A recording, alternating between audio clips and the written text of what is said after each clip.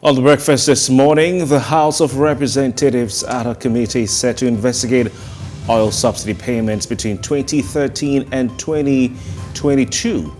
How viable is this and what are the implications for the Nigerian economy?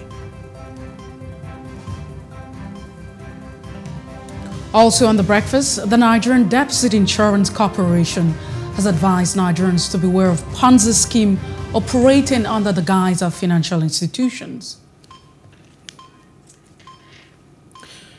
And of course, we have a daily look at today's newspapers, uh, the daily newspapers, headlines, analyzing the biggest stories of the day on Off the Press.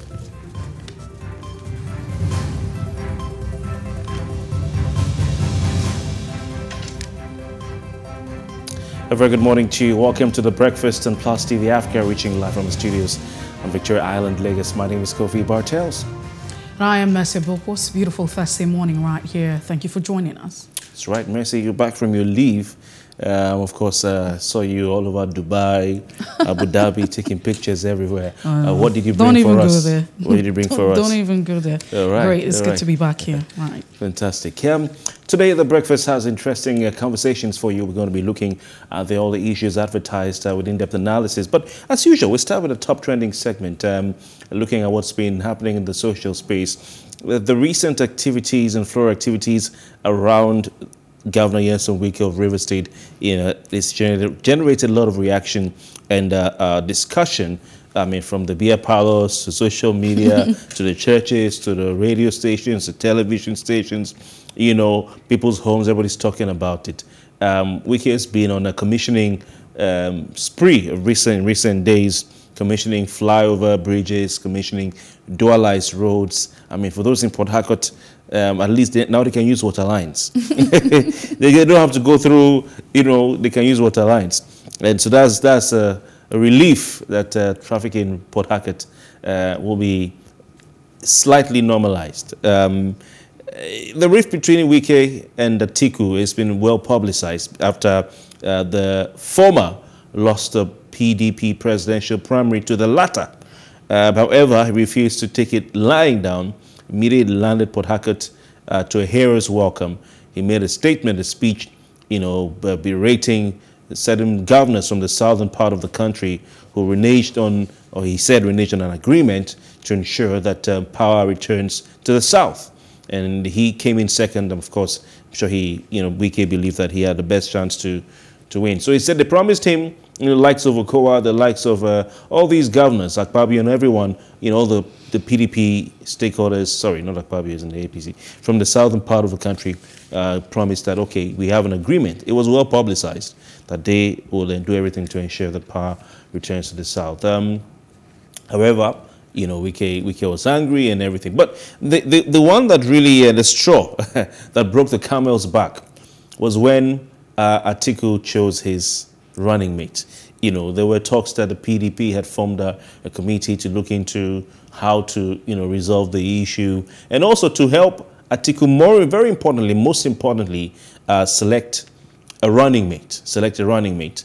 There was a report of some, you know, uh, voting, uh, which turned out about 14 of them voted in support of Wike uh, to be, or less a majority, because I don't quite remember the numbers right now, voted in support of Nyesom Wike to be the running mate of Atiku, uh, as opposed to Okowa and as opposed to Emmanuel Udom. Um, however, Atiku chose um, Okowa, and uh, Wike went to speak some more. Um, Wike wasn't happy about Atiku's statement. I swear, if you remember, uh, uh, Atiku Abubakar Lahaji, Atiku Abubakar uh, Turakin Adamawa, he said some things uh, as to why he chose Okowa um, as his running mate. And he gave the, the qualities of a running mate. He says he must be, uh, you know, forward thinking, he must be um, uh, he gave so, and he said he must be without drama. and you could see the look on Atiku's face when he said he must be without drama. You know, so most of the things he said seemed like he was uh, spiting Nyesom Wike. That's what it seemed like. He was, he was say, say, you don't have these things. You know, visionary. You know, can bring something to the table. Must have the ability to be a president in waiting. Eh, he must be someone without drama. And um, wasn't happy. And in an interview with a television station last week, he poured his heart out. He spoke his mind and called all the things Atiku said Atiku was a liar. He lied about everything. And so the rift has been on, and he said he wasn't happy about the statements Atiku made uh, when he was unveiling his running mate. Well, you know, mm. so so so the, the, expectation was that Atiku would be carried along, um, but Atiku said something. He said that he never asked any committee to sit down and get him choose a running mate for him. It was merely a suggestion that they brought to him. He always looked at it as his choice to choose he who he wanted to work with. Now, following on from that, there have been talks of, uh, uh, or attempts, let me say, to mend the fence between these two men. Uh, the PDP Board of Trustees had met, they formed one committee, they met again from another committee. Before that committee could do its work, Atiku and Wike met in Jerry Gana's house in Abuja, and everyone expected that, you know, all was well.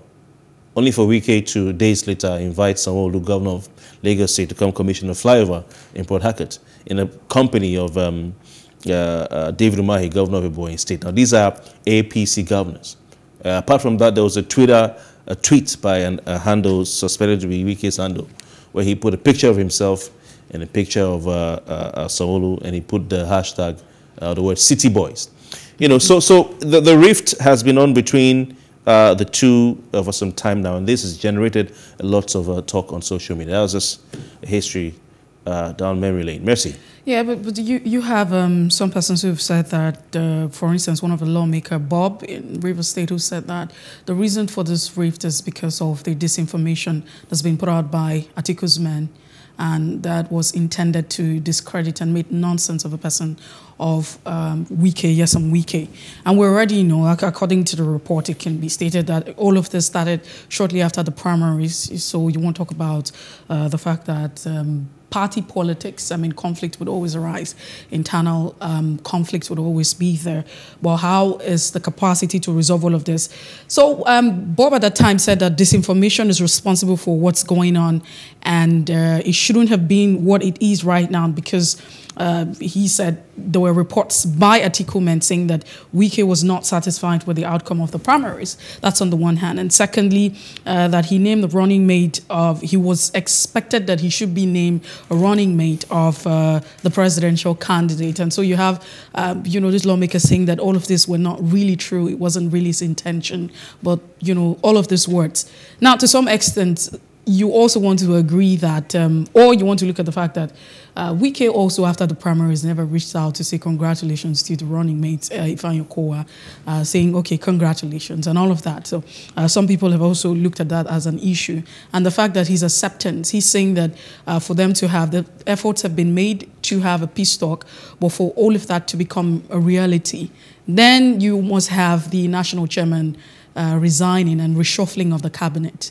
That has also been, you know, uh, one of the reasons that is given. So we, we, see all of this. But it's quite unfortunate, some people would say, because you expect that the People's Democratic Party should be an opposition ahead of the 2023. I'm talking about opposition, not just ahead, but should leave as an opposition.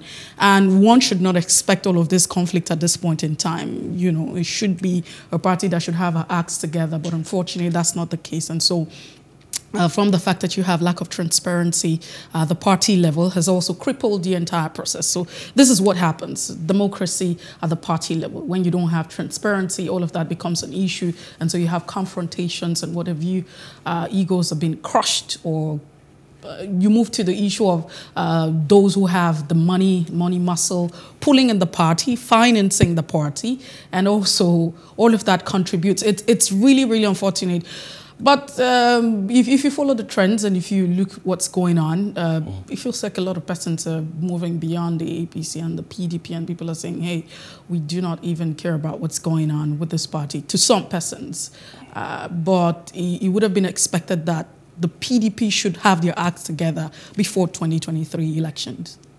Yeah, so some have also, I mean, you know, you rightly said, Mercy, that the, uh, uh, you know, this this talk of misinformation by um, Mr. Bob. I don't understand what he means by misinformation or disinformation. I mean, Wike openly made his speeches. He, he expressed his unhappiness at um, the outcome of the primary. He gave a speech, so I do not know what disinformation Bob is talking about. Uh, Wike gave a, an interview to television stations when he came back uh, from Spain.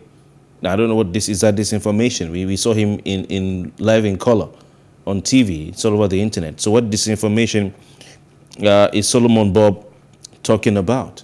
Um, of course, when Wike has uh, uh, given his, his statewide broadcast um, regarding political meetings in River State, suspected to be targeted at uh, members of the, the PDP who are working for Atiku in River State. Um, I mean, is that disinformation? When, when Wike, uh, you know, uh, put out uh, uh, an arrest warrant or declared one um, House of Reps member wanted, talking about uh, Dr. Farah Dagogo, you know, and he was summarily arrested and prevented from taking part in the PDP primaries in River State. Um, he's, you know, perceived to be an Atiku man, you know, and in the PDP in River State. Um, was that disinformation? You know, what about the requests, requests or demands that uh, uh, Iyorchia Ayu, the, the chairman, like you said, of the PDP, stepped out? You know, that Atiku does uh, one term. You know, some of these requests we hear. Um, Wike is not happy with the way things have been done in the party. He said it, and he said it many times. You know, he said it many times. And even he's, I think part of his pain is um, the way he's been treated. Uh, he feels that um, an agreement like, uh, uh, uh what's this uh, no actor sang again? Um, uh, he said agreement is agreement. I don't remember that. the name of a Disney actor. And Kemo was saying agreement is agreement. Here. You know, I so, so, so we agreed. We agreed that we are going to shift power and the party to the south. What have you done? You know, Atiku made the step of going to see Wike the morning after the election, the primary. He went to see some of the persons and went to see Wike you know, and uh, that would, and Wike said it's, it's one party. One thought that would uh, continue from there. But hey, this is where they are. But some people feel that Wike, uh, having invested a lot in PDP, because of course after Jonathan uh, left the scene, um, there was no one to steady the ship, and Wike stepped in and steadied the ship in the PDP. Some feel Atiku left the PDP, went to APC, was part of those who were instrumental in bringing the APC to power, and he came back. He doesn't deserve to be where he is. But you see, it's politics. You don't you don't have a sense of entitlement in politics. You can move to any party you want at any time you want, and Atiku is a presidential candidate. So I don't think there's anything about who moved or who didn't move. We're looking at now. That's what matters. I hope the party can pull together uh, mm. and then get its acts right. Yeah. Well, it, it, might just be almost impossible, but we need to move away from that. Some of these issues we've mentioned, where you have uh, some powerful persons at the party level, uh, you talk about the money muscle pulling it, it becomes a problem. All of these are issues, but it would be a discussion for another day. Still looking at the top trending this morning, Kizz Daniel apologizes to his fans in Tanzania and uh, promises, you know, to perform a free show. Then I'm sure that you're very abreast, you know, with the current situation. I mean, Kizz Daniel is the uh, maker of the Buga, you know, that very hit song. And some some persons have described that song like. Uh, the Baby Shark, the adult version of Baby Shark. I don't know if you know what that means. don't worry, you would understand very soon. And so, uh, Kizz Daniel was supposed to. you, you, you, you, seem to already understand it. No, I do understand. You do, okay. Is there something you're not telling us? I will tell you after. No, no, no. It has nothing to do with that. But oh, I think that you know, you're saying I understand level, soon, so maybe you already understand. you will understand. but moving forward, uh, we already understand what actually transpired between Kizz Daniel. Uh, and his performance in Tanzania. It didn't really turn out well. Unfortunately, he didn't show up. Let's come out to talk about the reason why uh, he was unable to show up for that performance. And this is prior to uh, the response. After, you know, uh, the show promoter had an interview on air with some personalities in Nigeria talking about all of that. And he made reason saying that, hey, he refused to perform because his uh, outfits or accessories were not available, and that's the reason why he refused to perform after being paid $60,000, as it was uh, reported. But Kizz Daniel has said that he had issues with flight, connecting flight to Nairobi and getting to Tanzania, and then his luggage had not arrived because he was in Uganda prior to this time, and unfortunately, he couldn't really at the end of the day, it means like his accessories were not available or his costume, whatever, however you want to look at it. And at the time he was willing to, you know, go out when it was time, the fans were already agitated and they had already taken action, uh, you know, becoming very violent. And according to him, he said that his management had advised that, you know, he, stay, he, he stays put. I mean, he stays down uh, for security purposes and all of that. And that was the reason why. But uh, he's apologizing. His intentions was not to take his fans for granted and, and as such, he will be putting up a free show. The question would now be, is it really a free show because uh, were they refunded? All right, is it a free show? And what will the impact be? Well, it's a good thing. I mean, a lot's been said about Kizz Daniel. There's a lot of bores on the internet. But that's it. But, but, but what do you make of the situation? Yeah, Kofi? yeah, it's, um, it's, it's an interesting one. I mean, of course, uh, uh, such news will, will sell the money to spread his name far and far. Because I mean, we're talking about him, so this what you know. Sometimes these guys do these things. You don't know if it's planned you know, to get some, like what they call clout these days. You don't know if it's planned uh, to get clout so they can, they can trend, people can talk about, because it's been trending. You know, I remember when um, uh, my good friend Port Harcourt boy Omah Lay was arrested in Uganda, you know, for one, one thing or the other. He, went, he was taken to court and he was trending around Africa. Um, some people say, hey, maybe he's just trying to sell himself and to train. But uh, well, we don't know. We will never know. The fact is that we saw Kizz Daniel uh, being arrested in or being picked up by police, let's call it that, in Tanzania. Uh, I think he should have been Dar es Salaam from his hotel. Uh, he had to you know, sit at the back of a pickup truck and he went to the police station to, to answer some questions. But what, what we know now is that he wasn't arrested, but he was invited, you know, to answer questions. You know, um, uh, interestingly, what I had said before now was that um, we'll wait to hear the side of Kizz Daniel. Uh, he the show promoter was on Daddy Freeze's Instagram Live, where he gave reasons why uh, Kizz Daniel was quote unquote arrested. Um, and he said the guy refused to perform simply because his baggage had not arrived at the time he, Kizz Daniel, arrived in Tanzania. And uh, he said his gold chains were in his baggage and luggage. And he needed that luggage to arrive and so he can use his gold chain to perform. You know, so people started saying, okay, now juju, or no be juju be that. so why, why does he want to use his gold chain? You know, that is to say in, in, in pidgin English, for those who are listening outside Nigeria, is that not juju or voodoo?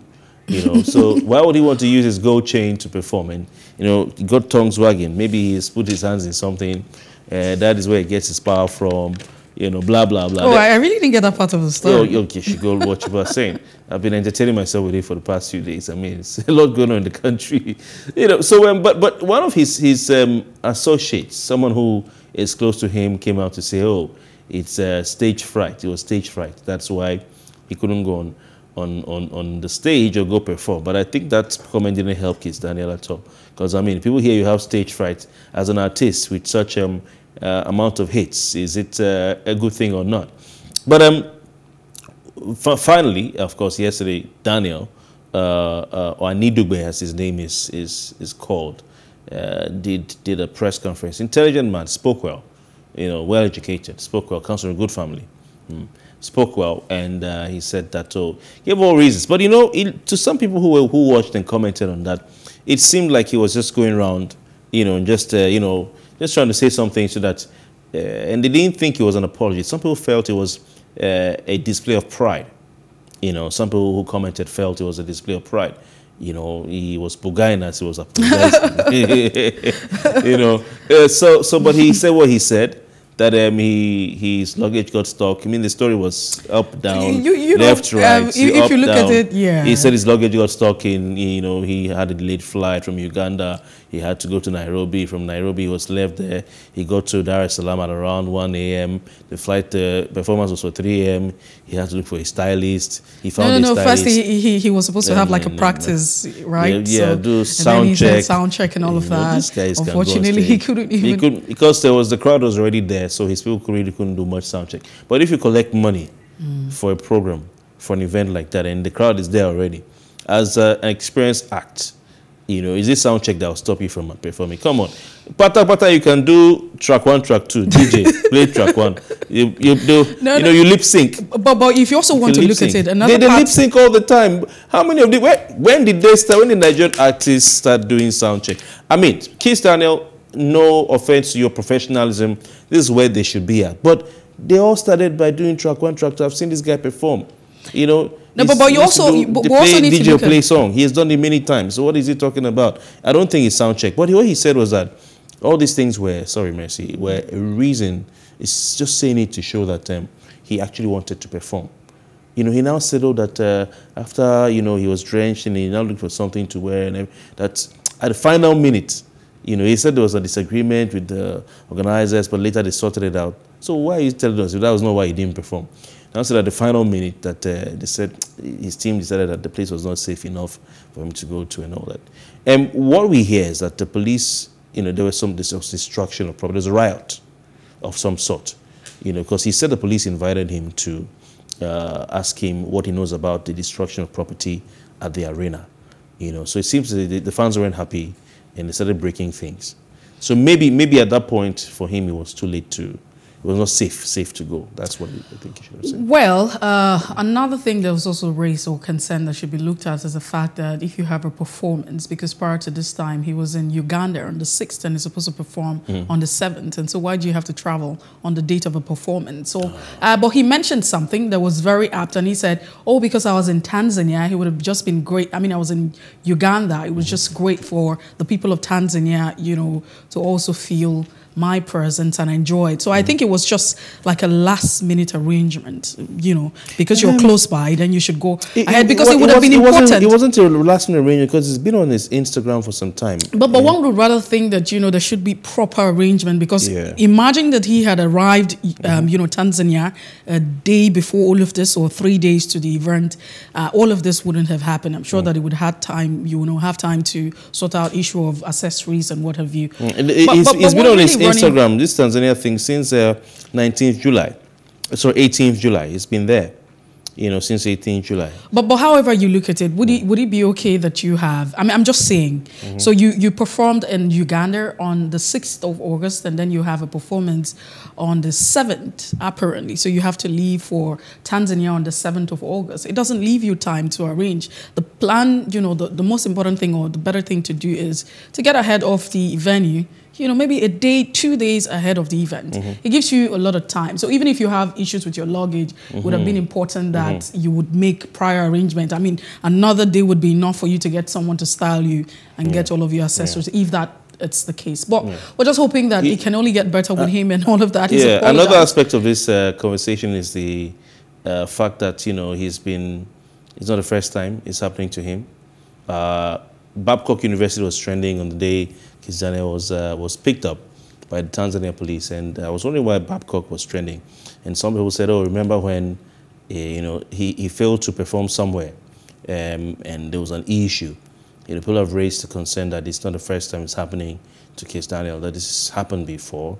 Um, some are also linking it to maybe the problems he had with his label and everything to say that maybe his, his, his attitude, his style, he needs to change. You know, though, though it's, it's hard to judge people from afar, you know it's hard to judge people from afar. I wouldn't want to judge Kizz Daniel from afar. You know, I won't okay. judge it from afar. You know, but this, this is what people said. We just have to tell the audience what people are saying. You know, it's, uh, well, Kofi, we need but, to. But this free concert, you know, it remains to be seen. It's tomorrow, right? It remains to be seen whether the Tanzanians will will accept it as apology. You know, um, I, like I mentioned earlier on, if you say it's free, uh, was there a refund? Because I mean, people have to pay for this. People actually mm. paid for this. Mm -hmm. There was no performance. As so, the original show. Yeah, original mm. show. So yeah. if you say it's a free concert, are we having uh, you know persons who didn't buy the ticket prior to this time? So you're going to have if you're supposed to perform for three thousand persons, uh, maybe we're looking at you know performing for five thousand persons or mm. more than. But is it really a free show? But that's, so much we can take now. that's so much we can take at this point because we're out of time. We take a break break. When we return, yes, yes. will be time for us to look at the front pages of a national daily. Please stay with us.